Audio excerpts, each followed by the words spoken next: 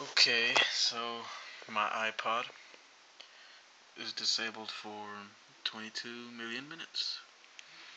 And I've received so many instructions. I, I'm on iTunes right now.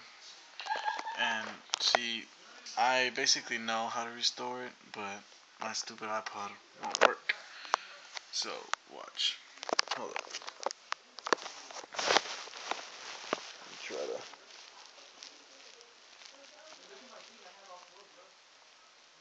Okay.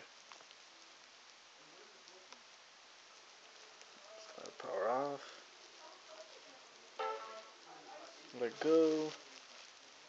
Wait till it goes to DFU mode. And boom. DFU mode. Okay, so I got that down. iPod says it says I need to restore it. Push OK. Restore. Restore and update. Extracting software.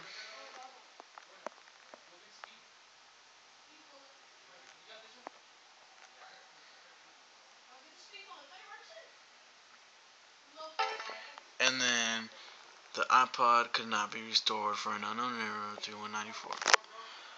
Basically, this video is teaching you how to restore your iPod. It doesn't work with mine.